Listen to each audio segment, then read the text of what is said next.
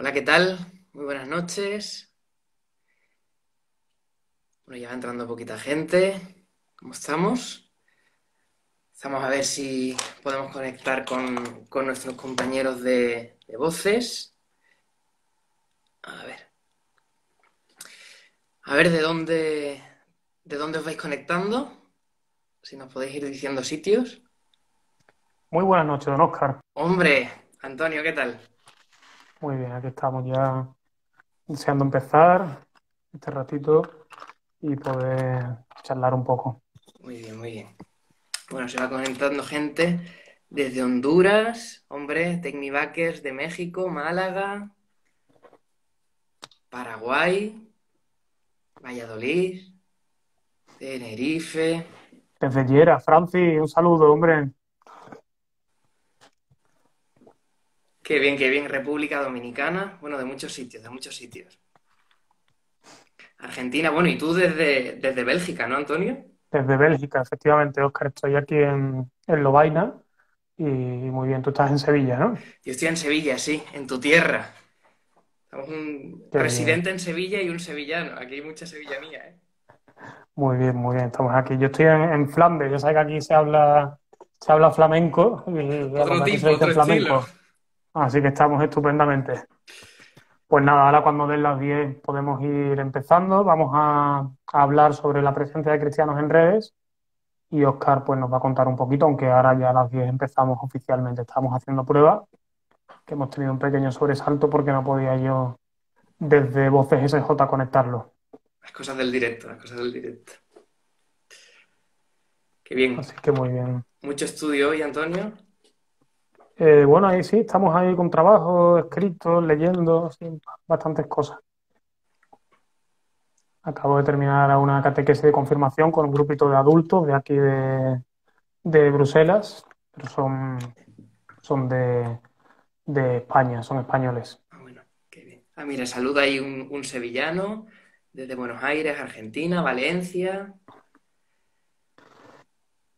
Bueno, como ya han dado las 10 y, somos puntuales, pues empezamos con buenas noches a todos. Empezamos con, este primer directo de esta segunda tanda de, Voces SJ y Ser Jesuita. Y, hoy lo vamos a hacer con, con Oscar Cala, que se, se, dedica, entre otras cosas, pues a manejar redes sociales y también a, hacer pues todo lo que se, se conoce hoy día como evangelización por Internet. ¿No, Oscar? Pues si quieres, te presentas brevemente y nos cuentas un poquito quién eres y cuál es tu misión ahora. Bueno, pues yo estoy en Sevilla haciendo la etapa que se llama Magisterio. Es una etapa que tenemos en la formación de la compañía entre los estudios de filosofía o de carrera civil y la teología. Entonces, bueno, por un periodo de dos o tres años nos mandan a trabajar a algún sitio. Y yo he tenido la suerte de, de ser destinado aquí en Sevilla. Y estoy pues en dos sitios por un lado, la Universidad Loyola, dando clases de filosofía, humanismo y ética, trabajando en pastoral, y luego tengo dos días a la semana para trabajar en el equipo de promoción vocacional de la provincia, llevando sobre todo redes sociales. Y entre esas redes sociales, pues está esta cuenta de, ser jesuita, que es a la que, pues la verdad, más tiempo, más tiempo le dedico. ¿Y por qué, por qué empezar esta serie de, directos de Instagram con, con este tema de, la presencia de los cristianos en las redes? Hombre, porque es un tema que está, se nos ha puesto, si ya estaba encima de la mesa, ahora con más, a partir de la pandemia, se nos ha puesto encima de la mesa de una manera más obligada. Eh, pensando antes de la pandemia, las cifras del 2019 sobre uso de redes sociales sitúan a las tres primeras, que serían WhatsApp, eh, Facebook, Instagram, por encima de la hora de uso diario. Eh, y simplemente WhatsApp más de casi dos horas, ¿no? Es decir, es una herramienta o un lugar, las redes sociales, que ocupan una gran parte de nuestra vida. Y podemos usarla de muchísimas formas.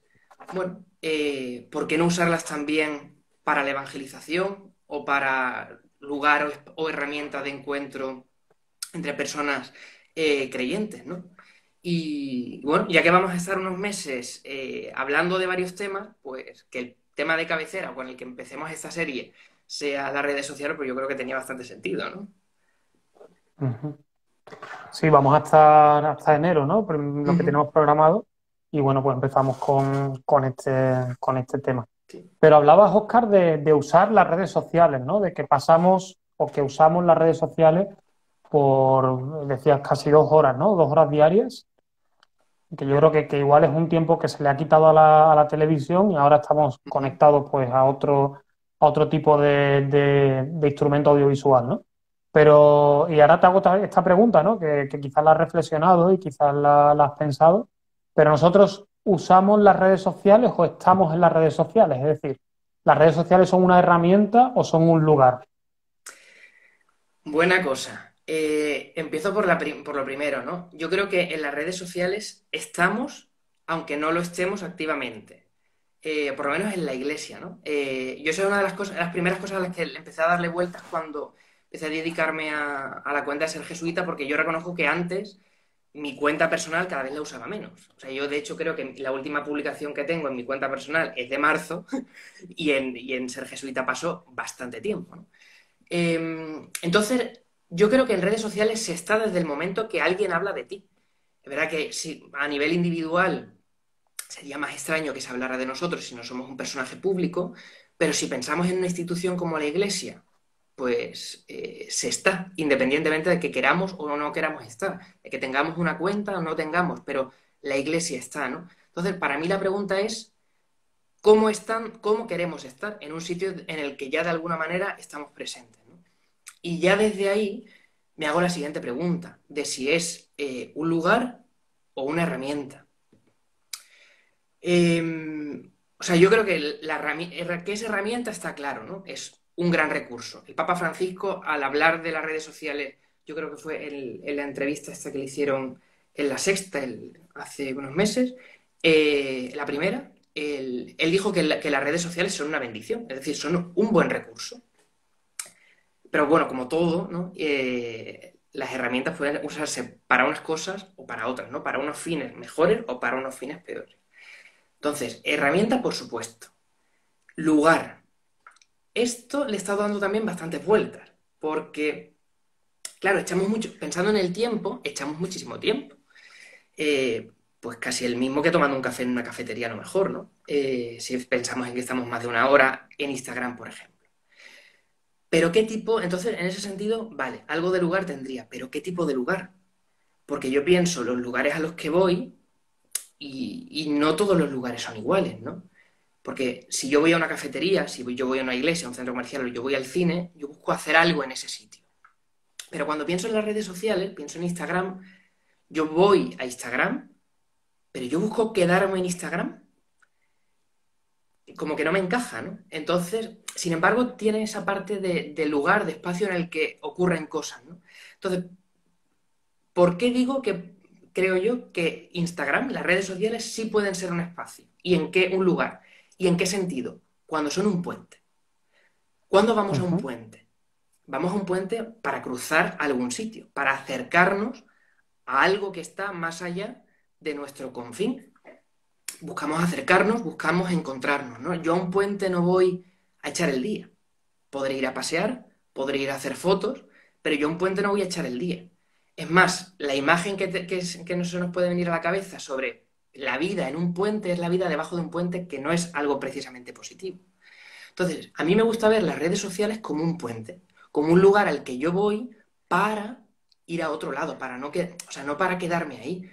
Porque, bueno, yo no sé si a ti te pasa, pero eh, cuando examinamos la cantidad de tiempo que echamos en general a las cosas que hacemos y vemos el tiempo que pasamos en redes, eh, yo por lo menos cuando hago este ejercicio con universitarios o así, poca gente se queda contenta con el tiempo que gasta en Instagram o en redes en general, porque tiene la sensación de que se lo roba otras cosas más importantes. No meter, no me voy a, meter a juzgar eso, ¿no? Pero lo que sí parece es que hay una intuición que nos dice que mucho tiempo en las redes mm, algo nos falla, ¿no? Porque, bueno, quizás no es un sitio para estar como un fin, para un sitio para sentarnos y echar allí la tarde o el día, ¿no? Pero si lo buscamos como es, si lo, concebimos como ese lugar eh, que me permite un encuentro, que me permite ir a otro lugar, pues me parece que sí, que puede ser un lugar muy bueno, de hecho. No solo bueno, sino muy bueno. Y mm, claro, en ese sentido, eh, ¿qué es lo que nos permite este lugar? Una cosa que me gustó de esa entrevista que os comentaba antes, que decía el, Papa Francisco, pasar del like al amén. Entonces yo creo que las redes, bien usadas, o sea, como espacio bien usado, nos permiten provocar ese encuentro para pasar del like, que es una mera expresión de una, de una emoción, de un sentimiento, ni de un sentimiento, de una emoción, en algo con mucho más peso, en algo mucho más profundo como es un amén, ¿no? que al final es una adhesión a algo. Yo creo que, bueno, por ahí habría que ir, ¿no? Y en ese sentido, claro, las redes son una gran herramienta. Gran herramienta por el potencial tan grande que tienen, ¿no? Em, primero, para ir a otros sitios, para acercarnos a realidades que no tenemos cerca. También es cierto que tenemos el riesgo de que las, redes se conviertan en una burbuja, ¿no? Por el propio algoritmo de, funcionamiento de Instagram, bueno, ya todos lo, tenemos experiencia, ¿no? Que cuando le damos a seguir a alguien, nos van empezando a salir sugerencias de amigos comunes. Y al final, por mucho que esa, red crezca, es una red burbuja difícilmente me va a salir a mí alguien de otra religión. Por ejemplo, si yo la mayoría de las cuentas que sigo son religiosas o es de gente religiosa o que está vinculada con algún eh, fenómeno religioso cristiano católico, rara vez me va a salir una sugerencia de Instagram de otra religión, ¿no? Bueno, sí, pero si tenemos en cuenta que Instagram nos abre a esas otras realidades, oye, ¿por qué no usarlo, no? Mm, pienso en la pandemia las redes sociales han sido el espacio o el, lugar en el que nos hemos visto, eh, en el que hemos podido salir del confinamiento.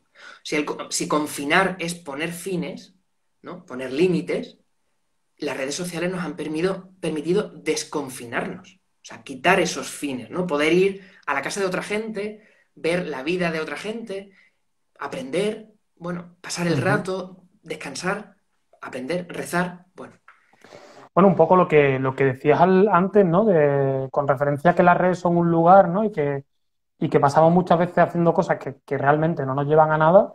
Eso me, recordaba un poco a lo de, a lo de San Ignacio, ¿no? De, de, los ejercicios, ¿no? Antes de empezar la oración, pues pensar a dónde voy y a qué, ¿no? Sería también un buen, un buen consejo, un buen leitmotiv, o un buen eslogan para, para una vez que abrimos las redes, el pensar a dónde voy y a qué, ¿no? Y qué busco cuando yo abro el Instagram o qué busco cuando abro Twitter o, Facebook. Justo. De hecho, el tercer motivo o el tercer punto que, el, que para mí que confirma que Instagram o las redes son una gran herramienta es, porque nos permiten hacer un examen, yo creo que muy fiable, de nuestra vida. Mm, en todos los ámbitos. O sea, pensemos que las redes tienen un componente público muy, muy fuerte porque nos expone, pero permite hacer muchas cosas sin dejar rastro. Las búsquedas, el tiempo que echamos nadie nos lo controla. Entonces, yo creo que podríamos usar Instagram, yo este, este ejercicio lo he hecho con el grupo de universitarios, hacer un examen ignaciano a partir de los datos que nos da Instagram de nosotros. ¿Cuáles son las búsquedas que tenemos? ¿Cuánto tiempo echamos? por qué hacemos las cosas, ¿no? Que sería el a dónde voy a qué. ¿Qué busco? ¿Busco cotillear o aporto algo? A mí me hacía gracia una imagen que ponía que pone José María eh, para hablar de las redes sociales, de cómo estar en las redes sociales. Él decía algo así como, yo puedo estar modo mm, señora del visillo, es decir, no publico nada, lo utilizo simplemente para cotillear, yo puedo estar para venderme a mí mismo y publicar simplemente cosas magníficas de mi vida que no son mi vida completa, o para generar y aportar valor, ¿no? Y hacer, y, bueno, hacer algo positivo con esa red, ¿no? Bueno, si nos examinamos nuestro tipo de uso de, Instagram, de redes sociales en general, yo creo que nos va a dar mm, muchas claves sobre cómo estamos en redes, ¿no? Y qué buscamos, a quién seguimos y por qué, qué contenido compartimos qué tipo de filtros usamos, si recurrimos a ellos o si no, cuánto tiempo pasamos editando una fotografía. Editando y eligiendo, antes que eso, ¿no? Bueno, yo creo que ahí, eh, de manera velada, se van revelando muchas cosas de nuestras búsquedas más profundas y muchas veces innombradas, ¿no? Y bueno, yo creo que Instagram a mí me gusta mucho y lo defiendo mucho precisamente porque nos permite esto, examinar a partir del uso que le damos. Muy, muy interesante, sí, sí, sí. Pero claro, aquí entramos en la, en la aparente superficialidad, ¿no? Que, dicen muchas personas, pues que tiene la, red social. Pero son un lugar superficial, son un lugar, eh, son un lugar donde se puede buscar profundidad. Bueno, ¿cómo darle la vuelta a esto, ¿no? En tu experiencia, ¿cómo, cómo darle la vuelta? Pues a pasar de ese like a ese amén, ¿no? Del que nos hablaba el Papa Francisco. ¿Cómo podemos hacerlo? ¿Cómo podemos llegar a eso? Bueno, yo creo que eh, depende mucho del resultado del examen anterior, ¿no? Pero mm, sí, a mí a darle vueltas a este tema me ayudó eh, un compañero jesuita, Carlos Maza, teólogo que está en Madrid, eh, que hablando, preguntándome un poco por las redes, cómo iba, funcionaba esto y tal, me decía que, que, le costaba mucho que nosotros estuviéramos ahí, incluso a nivel institucional, una cuenta que se llama Ser Jesuita, es en Instagram y, y se eche tanto esfuerzo al final, porque hay tiempo detrás, cuando una red social es por naturaleza o por definición algo superficial, ¿no? Y la verdad es que me dejó pensándolo bastante tiempo. No sé si he llegado a una conclusión clara, supongo que iré cambiando, pero yo creo que al final es como todo, ¿no? principio y fundamento. Es decir, las cosas están, están, nos están dadas y somos creados y criados en tanto en cuanto. ¿no? Entonces, algo que por naturaleza, por estructura, puede ser superficial, porque es cierto que las redes sociales son superficiales porque son lo contrario al encuentro personal, que es donde se puede profundizar verdaderamente, pero según el uso que nosotros le demos, podemos dar un primer paso, cruzar ese puente que nos conduzca a la profundidad. Y yo creo que sí, ¿no? Em, ¿Cómo podemos usar con profundidad las redes. Eh, y ahí me hago la pregunta como usuario y como emisor de, información, ¿no? Pensando en, la cuenta de ser jesuita, ¿qué historias contamos? Y este es un tema que, tengo mucha tarea pendiente por hacer, ¿no? Pero, ¿qué historia estamos contando nosotros en las redes? ¿Es una historia profunda? ¿O es simplemente, y mira que la cuenta de ser jesuita va mucho de frases, una mera frase bonita? ¿Hay algo detrás?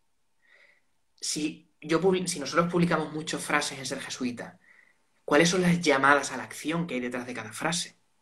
Claro, esas llamadas a la acción no son para ejecutar en la red social, sí en tu vida. Ya como usuario, cuando yo voy a una red como Ser Jesuita o a otra, eh, porque a mí me aporta algo, ¿cuáles son las llamadas a la acción que esas cuentas a mí me dan y cómo las sigo? Porque si yo me meto, por ejemplo, en Ser Jesuita o en otras cuentas eh, religiosas y simplemente guardo y almaceno contenido en, el, en, el, archivo, pues para mandársela a alguien o para cuando esté de bajón acordarme, eso es un uso superficial, muy superficial.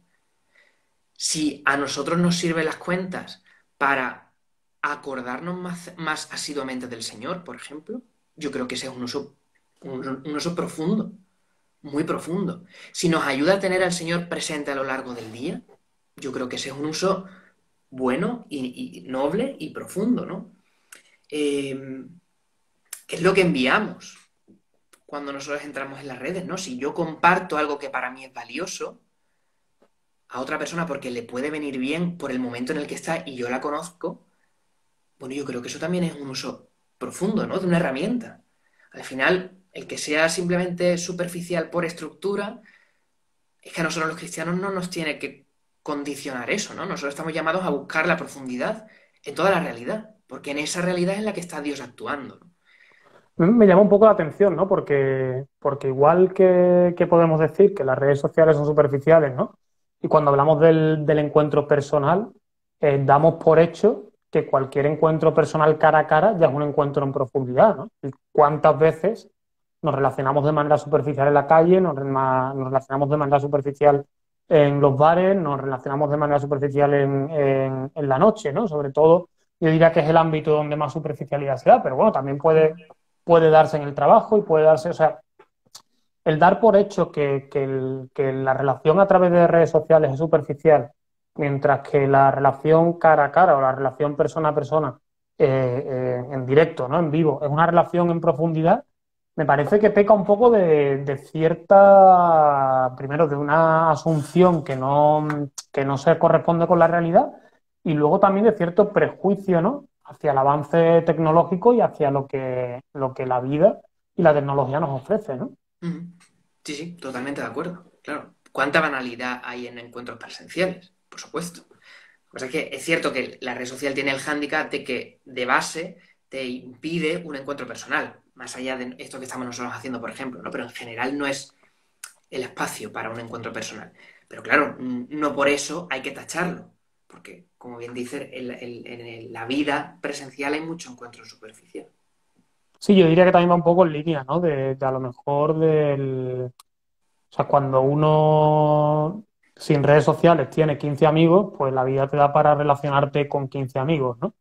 Con mil amigos en Facebook, pues la verdad es que la vida no te da para relacionarte con mil amigos, pero incluso con, con, mil amigos en Facebook, con mil seguidores en Twitter o con dos mil seguidores en Instagram, es verdad que, que uno tiene la misma relación con todas esas personas con las que tiene cierto contacto, ¿no? Y yo te lo digo un poco por mi experiencia personal en Twitter, ¿no? Es decir, hay personas a las que he conocido, personas con las que he tenido conversaciones muy profundas, luego por, mensaje directo, ¿no? Incluso, eh, como se dice, ¿no? Desvirtualizar, ¿no? Quedar con, gente, ¿no? Súper interesante, que he conocido por las redes sociales, ¿no? Gente con la que nunca hubiera tenido contacto eh, de otra manera, ¿no? En ese sentido, ¿cómo, como por ejemplo el hecho de una, de una vocación religiosa o una vocación, eh, sí, es religiosa porque es lo, lo nuestro, ¿cómo piensas tú que las redes sociales están facilitando que muchos jóvenes conozcan nuestra vida?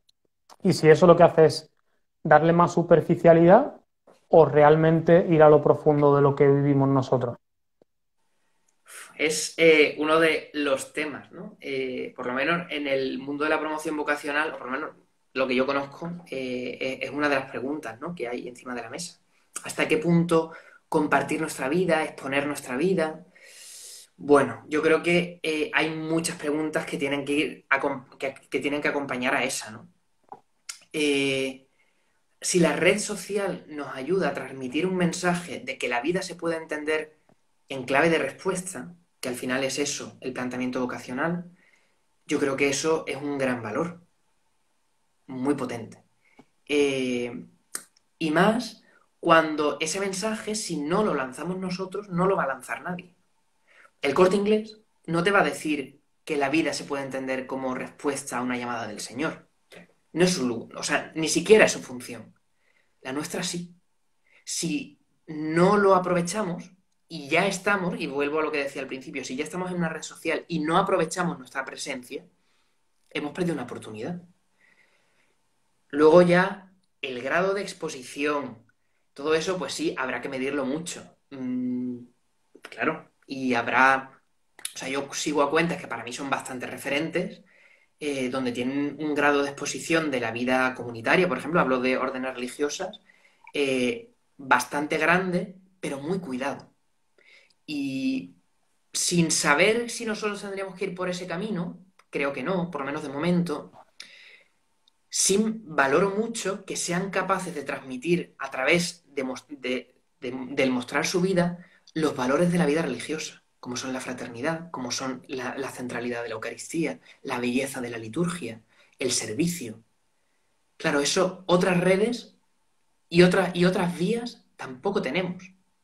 Entonces, yo creo que para la promoción vocacional explícitamente o concretamente hablando, eh, tenemos una gran oportunidad. Es más, eh, yo creo que hay una llamada también ahí.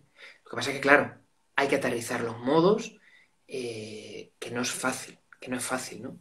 Porque es muy fácil eh, pasar, esto ya es opinión muy personal, ¿no? Pero pasar lo, la línea de lo cutre o la línea de lo demasiado expositivo, ¿no? Y perder la dimensión de clausura que tiene nuestra vida. Y eso que la vida nuestra de jesuitas es plenamente activa, pero hay una parte de misterio y de soledad, mejor dicho, que yo creo que eso es muy íntimo y que no sé, y que como mucho tendremos que enseñar que existe, mostrar que existe. y mostrar su belleza y su necesidad, pero no compartirla del todo, porque si no, bueno, es como compartir un Sí, un poco haciendo, un poco haciendo símil, ¿no? Desde el matrimonio, ¿no? Es verdad, que, que, la vida matrimonial se puede conocer, que existe, se puede conocer eh, pues un matrimonio feliz, se puede ver cuáles son los frutos, ¿no? A través de la entrega a los demás, de los hijos, de, de una vida plena, pero es verdad que el misterio que subyace en un matrimonio, eso solo lo conocen eh, el marido y la mujer, ¿no? Pues igual yo creo que, que la vida religiosa, que por mucha red social que tengamos y que mostremos, pues al final siempre forma parte del misterio de la relación personal con Dios y, a través del propio instituto. No, podremos compartir un montón de oraciones, de reflexiones estupendas. Pero, claro, yo no puedo compartir y enseñar en directo lo que significa la oración para mí o el encuentro personal con el Señor.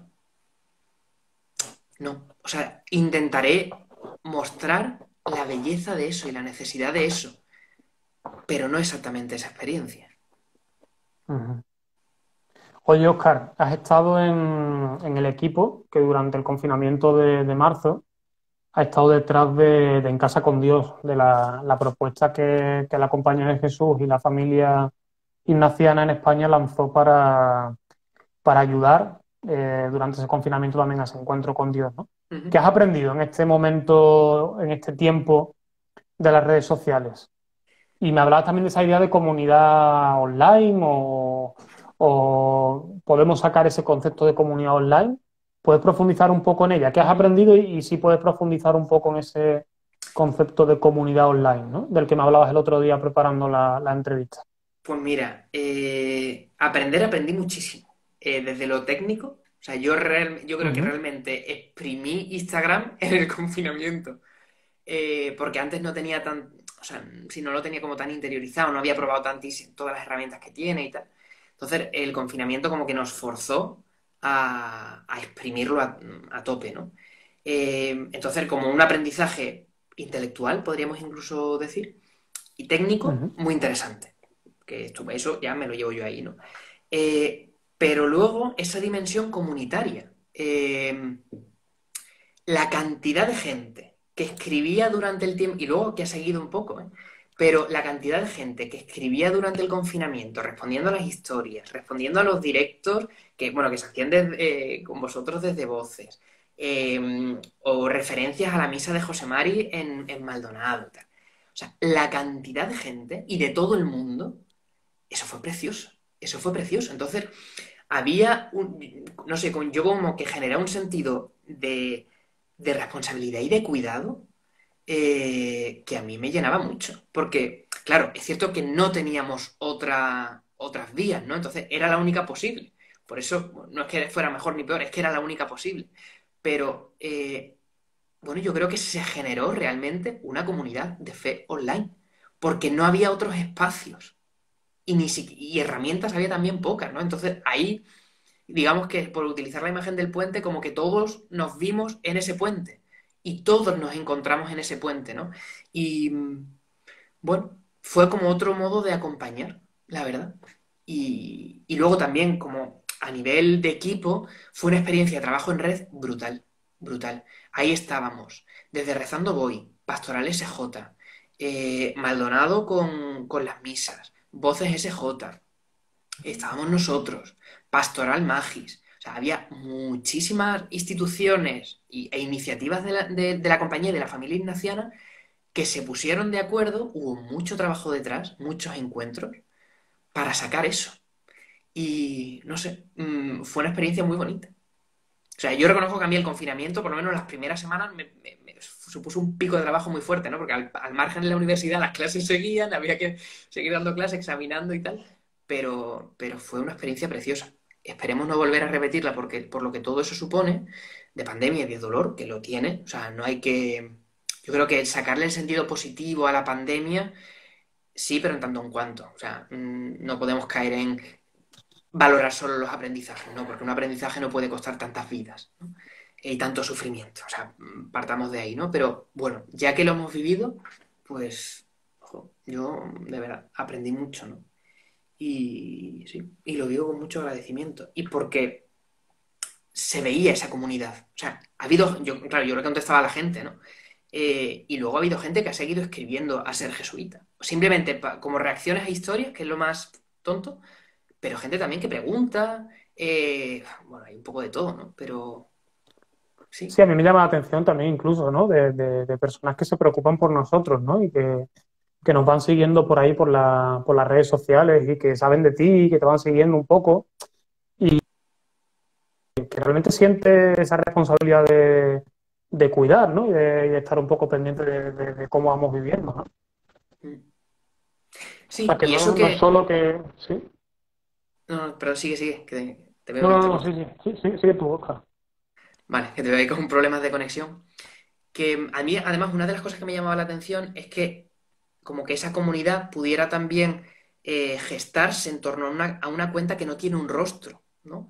Eh, tú ves las siglas, el SJ, pero no sabes las caras que hay detrás, ¿no? las conversaciones, las preguntas, las dudas, los deseos, las inquietudes que hay detrás, que las hay, ¿no?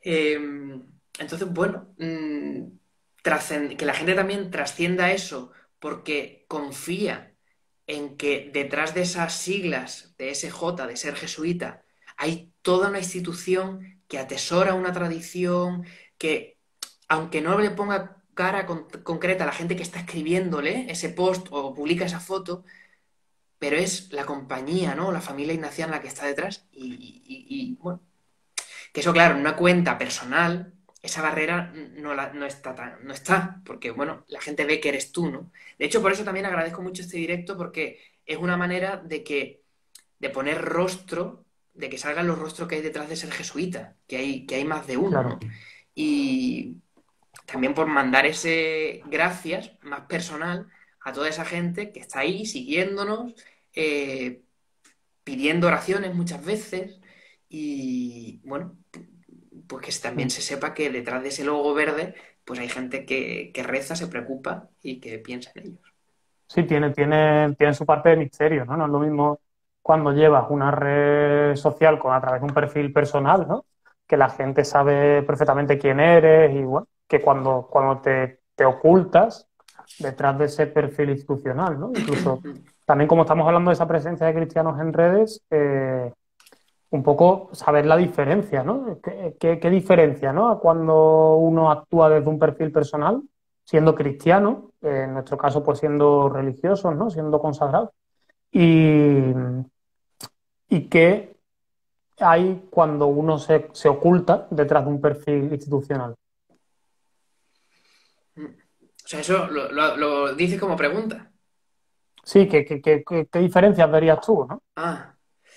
¿Puede ser muy diferente la forma de actuar o tiene que estar integrada de alguna manera? Yo creo que sí. Eh, o sea, partiendo de la base de que mm, eh, quitamos la, posibilidad de que alguien se aproveche, de que alguien que esté detrás de una cuenta institucional se aproveche o que le dé un, mal uso, ¿no? Eh, yo creo que no estamos ahí. Pero, mm, claro, yo creo que hay un reto en, las cuentas institucionales, por ejemplo en Ser Jesuita, que es cómo humanizas esa cuenta.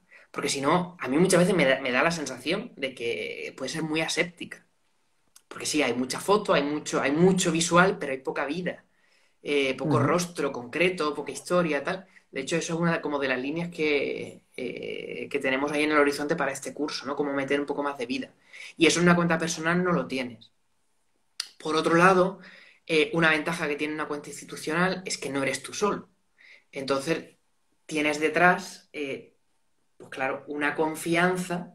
Eh, claro, detrás de ser jesuita está la compañía de Jesús, ¿no? O junto a la cuenta de ser jesuita aparecen otras muchas que son de la compañía de Jesús. Entonces, eso es una garantía. Claro, si Oscar Cala hiciera un perfil de Instagram que hiciera exactamente lo mismo, yo no llegaría a los 17.000 seguidores, por muy bien que lo haga, incluso haciendo lo mismo, porque no tengo la credibilidad que tiene una institución como la compañía, ¿no? Entonces, bueno, pues eso también hay que reconocerlo. Pero... Y luego... Eh, yo no sé hasta qué punto, claro, yo no tengo cuenta personal como muy activa, ¿no? Pero hasta qué punto te tienes que eh, ser como más, eh, morder un poco más la lengua o, ser un poco más cauto con el contenido, con las declaraciones o así, cuando eres una cuenta institucional o una cuenta personal. Claro, yo pues, pienso en ti, por ejemplo, claro, tú eres hablas, puedes hablar como Antonio Borges, pero claro, al final siempre eres, eres jesuita, entonces en tu nombre también va el de la compañía. Pero bueno, quizás la gente, no lo sé, ¿eh? pero quizás la gente como que tiene más capacidad de distinguir entre lo que puede ser personal y lo que puede ser institucional, ¿no? Y en, una cuenta institucional pues no, no ocurre. ¿Qué tres consejos para acabar antes de pasar alguna pregunta de, alguien que, esté ahí escuchándonos? Pues ¿qué tres consejos darías a un cristiano que quiere ser cristiano, que quiere vivir su vida cristiana y que actúa en redes y que está en redes? Tres consejos, así rápidamente, a modo de atraco. Uf, pues sí, mucho atraco, ¿eh? Lo primero que busque la profundidad. O sea, que utilice la herramienta o el lugar como lo que verdaderamente es. Como un lugar o como una herramienta, no como un fin. Entonces, en ese sentido, buscar el uso adecuado de manera profunda. Em, en segundo lugar, eh, que genere valor. Y eso es una cosa que me cuesta mucho, pero que me, me repito mucho, ¿no? O sea, que tú aportes algo al mundo a través de tu red. Que no sea simplemente un escaparate. Eh, y si la usas como un escaparate, que sea por lo menos algo real. Mm, para que compartas algo sincero. Eh, y el tercero. Mm, no sé, aprovechar las redes sociales eh, para recuperar la belleza y la cultura en las redes sociales hemos dicho, vale, que es muy superficial, pero al final es eh, muy visual, ¿no? Entonces, en épocas de crisis lo y de barbarie, lo primero que cae es la belleza, es el arte, es la cultura. Aprovechar las redes sociales, ya que tienen un lenguaje eminentemente visual, para seguir llevando belleza al mundo, porque la belleza también puede ser una vía de acceso a Dios muy buena. Muy bien, Oscar. Pues vamos a ver si hay alguien que hay por ahí eh, pues quiere hacer alguna pregunta a, Oscar Cala y, así pues también damos un paso un poco al diálogo. Voy anotando las preguntas si alguien se anima. Uy, han llegado, sí, han llegado por aquí unas cuantas. O sea, que decías belleza, decías profundidad, eh, profundidad y y aportar algo. Dice aquí Alicia Beatriz Roch, creo que debería volverse a las fuentes del carisma de Ignacio en humildad y servicio. Claro. Pues cómo mostrar esas características de nuestro carisma en redes, claro, es un reto que nosotros no podemos perder de, nuestro horizonte, ¿no? Mira, leo aquí, yo no sé si tú desde ahí eh, tienes acceso a las preguntas, si no, leo algunas que nos han llegado. Sí, pero pasa que están... Por ejemplo, pregunta aquí uno, ¿cómo no caer en el postureo? ¿Cómo son los, ¿Cuáles son los riesgos de no ser verdaderamente un cristiano en, redes? Buena pregunta. Eh, no caer en el postureo es complicado. Es complicado. Eh, porque podríamos incluso pensar que el postureo es parte del lenguaje ¿no? de las redes. O sea, si nosotros, pienso, si en ser jesuita se sube algo eh, cutre, se penaliza. Se penaliza. Además, eh, las estadísticas y las reacciones no, no, suelen fallar mucho, ¿no? Entonces, como que el postureo, si lo entendemos como el deseo de mostrar la mejor cara, bueno, lo podríamos asumir, pero no solo, ¿no? Al final, lo nuestro es ir un poquito más allá, ¿no? Entonces, ¿Cuáles son los riesgos de no ser eh, verdaderamente... ¿Cuáles son los riesgos de no ser verdaderamente un cristiano en redes? Bueno, pues sería, yo creo, quedarnos en la, superficialidad, ¿no? Quedarnos en transmitir una fe mm, muy de carcasa, muy ligerita, ¿no? Eh, por ejemplo, pensando en los grandes mensajes que se han lanzado durante la pandemia. El todo va a salir bien. Yo tengo una batalla personal contra esa frase. ¿Por qué? Porque para mucha gente no ha salido todo bien. Mucha gente se ha quedado por el camino. Y han pasado los meses y las cosas no siguen bien. Las cosas siguen como mucho regulinchi, ¿no? Esa, es que esa frase me hace... Ese meme me hizo a mí mucha gracia. Todo va a salir regulinchi. Bueno, pues yo creo que eso es más realista, ¿no? Entonces, si utilizamos las redes simplemente para lanzar placebos religiosos, pues claro, nos vamos a quedar en el postureo en una carcasa, en una foto muy bonita, en una frase maravillosa, pero que debajo de eso no hay nada. O sea, si la esperanza cristiana que nosotros transmitimos por redes es que todo va a salir bien y nada, y eso significa volver a lo de antes, yo creo que no nos hemos enterado de nada. Ya. Mire, otra pregunta muy interesante, ¿no? Que primero, eh, nos preguntan si estamos en Facebook. Sí, eh, Voces SJ está en Facebook y Ser Jesuita está en Facebook. Ser Jesuita está en Facebook también. pero se llama Vocaciones Jesuitas España. Entonces estamos ahí, tanto Voces SJ como Ser Jesuita, a través de Vocaciones Jesuitas España. Una pregunta muy interesante que nos hace eh, Tillo desde Málaga, supongo que será, claro que sí. Hombre. Eh, respecto a los debates que se abren con otros cristianos sobre temas de fe, ¿pensáis que se suelen llevar a un acercamiento de las posturas o todo lo contrario? Y habla sobre todo de Twitter. ¿Qué piensas, Oscar? Bueno, yo te puedo hablar más de Instagram. De, Twitter tú eres más, eh, más experto. Eh, yo lo que he visto es que se pueden acercar, o sea, al final es como la base del diálogo, ¿no? Se pueden acercar posturas cuando hay un deseo de encuentro. O sea, cuando el puente es un puente y no es eh, una trinchera, yo creo que sí. sí, yo alguna vez la, experiencia que he tenido, ¿no? Es de cuando a lo mejor he puesto algún tuit, eh, pues que puede pues que puede molestar o que puede ser más polémico. Yo normalmente nunca respondo tweets de otros, siempre yo cuelgo mis tweets y ya está, ¿no? Pero cuando he recibido alguna respuesta un poco violenta o un poco a veces insultante, lo que he hecho ha sido pasarme a mensaje directo y decirle, oye, mira, pongo esto por esto, por esto, por esto, ¿qué es lo que te ha molestado? Y algunas veces he llegado a un diálogo bastante, bastante interesante con, esa persona, ¿no? Sí. Sí, hombre, yo digo, también hemos tenido experiencia, por lo menos en, el Instagram de ser jesuita, de gente con la que no, pues no se puede dialogar. Bueno, pues ya está, pero es que eso, eso es la vida, ¿no? Entonces, eh, la posibilidad de que haya un encuentro, un acercamiento entre posturas, yo creo que está y se puede aprovechar. Yo lo he visto. Pero claro, también hay trincheras, ya está. Y todos tenemos el riesgo de caer en trincheras, por supuesto. Dice aquí otra persona, ¿cómo, ¿cómo transmitir lo bueno y lo malo de la iglesia con claridad? Lo bueno y lo malo de la iglesia con claridad.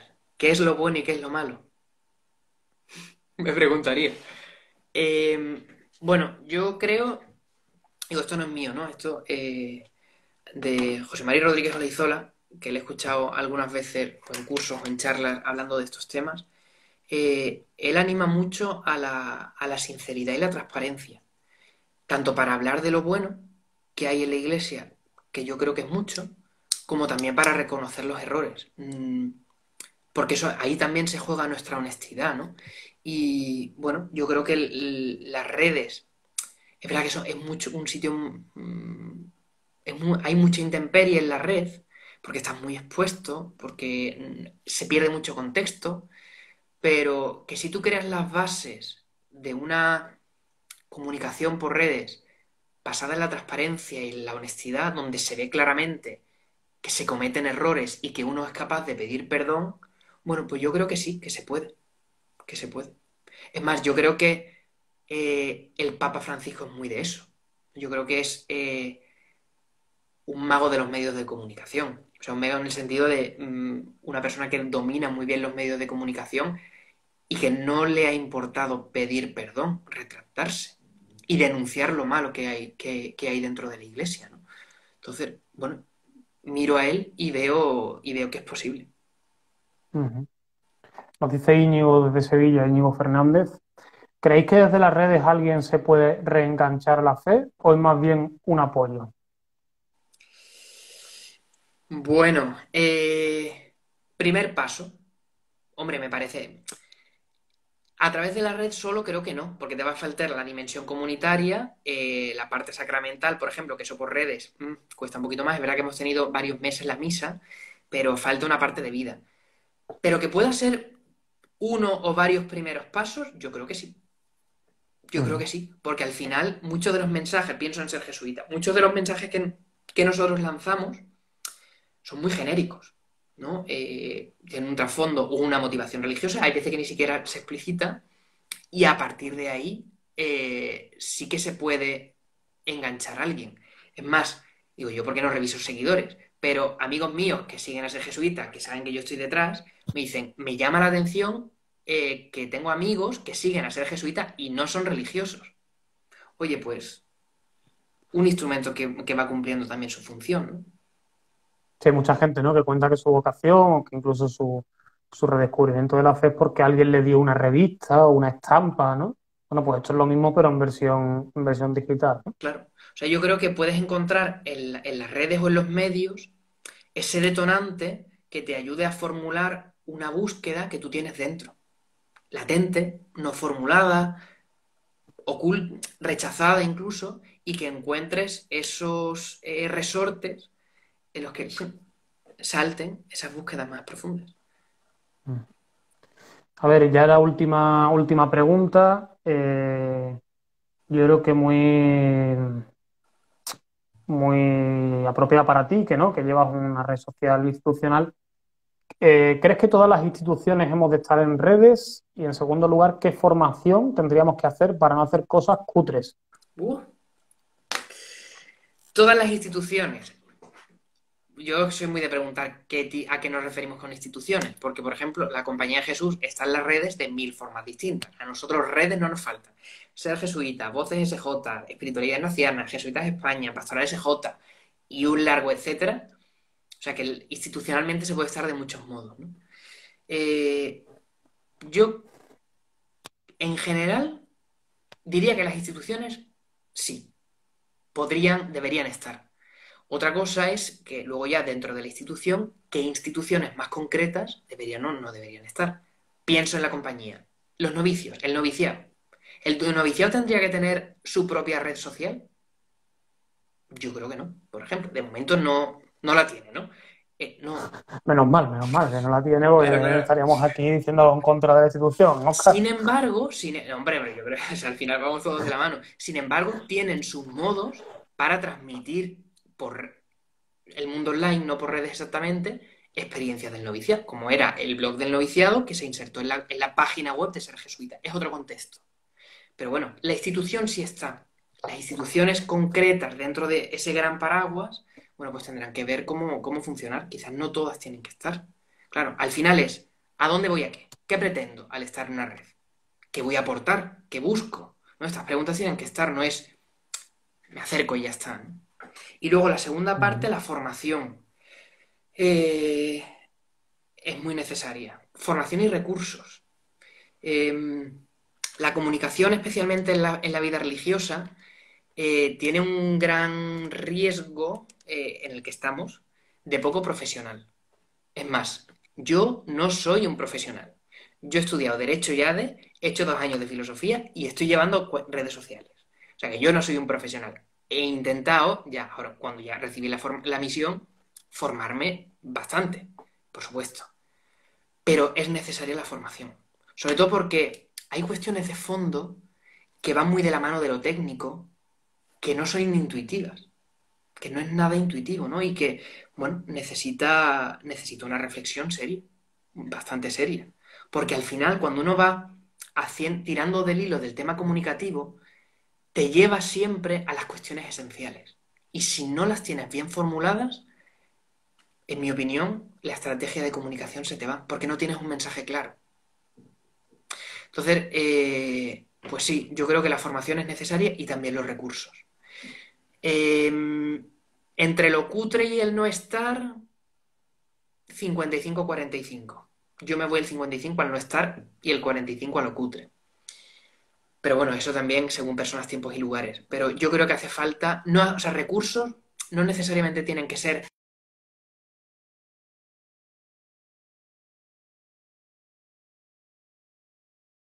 bueno desembolsos, eso sí. Eso sí, o sea, hay que apostar por la calidad. Porque al final es una manera de apostar por tu mensaje y por la gente a la que tú vas a ir. Si yo a ti, imagínate, tú vienes a mi comunidad y yo, y yo no te ofrezco nada, vale, porque hay mucha confianza, por supuesto, pero si tú vienes a mi casa, a mi comunidad, y yo te saco lo que para mí es lo mejor, es una muestra de que tú me preocupas, de que me importas, de que quiero que estés bien en mi casa. Me parece algo básico, ¿no? Pues con las redes ocurre un poco lo mismo. Si yo lo que transmito es cutre, es que no me importa. O no sé, también puede ser, ¿no? Pero necesitamos salir de lo cutre. Bueno, pues también con esa llamada a la profundidad, ¿no? Esa llamada también a, salir de lo, de lo cutre, pues, pues nos quedamos aquí. Eh, es un tema que, del que podríamos estar hablando largo y tendido, del que podríamos pues estar mm, hablando con otras personas que seguro que también saben mucho y que tienen mucho que reflexionar y compartir. Y, bueno, pues también invitar a las personas que se han unido y a los que nos van a escuchar a, a seguir profundizando.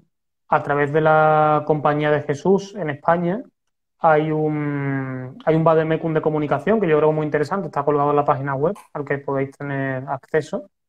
Y, bueno, pues deciros también que, un poco como reflexión final, antes de, de, despedir a Oscar y despedirnos, decía un jesuita, ¿no? Hablando precisamente de la, de la religiosidad popular, y así enlazo con, con el siguiente eh, directo, que lo llevará Dani Cuesta, eh, que la religiosidad popular, ¿no? Cada uno vive la religiosidad popular como vive su fe, ¿no? Pues igual, ¿no? Cada uno estamos en las redes sociales como estamos en el mundo y como estamos en la vida, ¿no?